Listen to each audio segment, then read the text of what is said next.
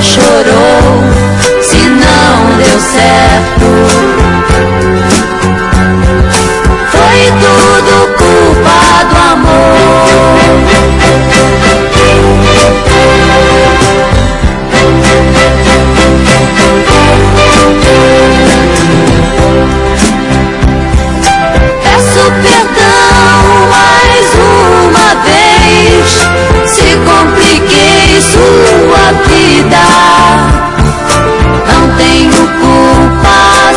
Você chorou, se não deu certo.